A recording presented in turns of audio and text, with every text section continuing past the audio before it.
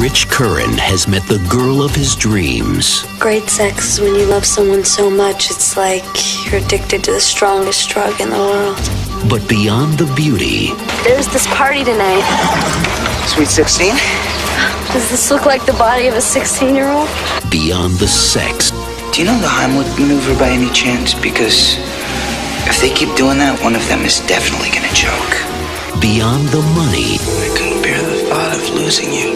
I love you. is a temptation he can't resist. Have you ever just wanted to kill somebody? I mean, really kill them.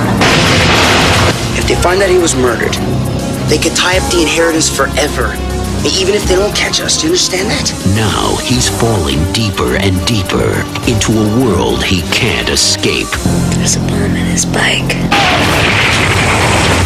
I'll be over tomorrow. Where were you between 8 p.m.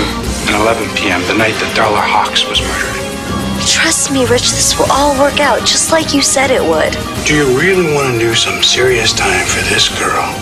No, I'm gonna stay in here and burn while you walk away with all the money, okay? Why, you think I planned it this way?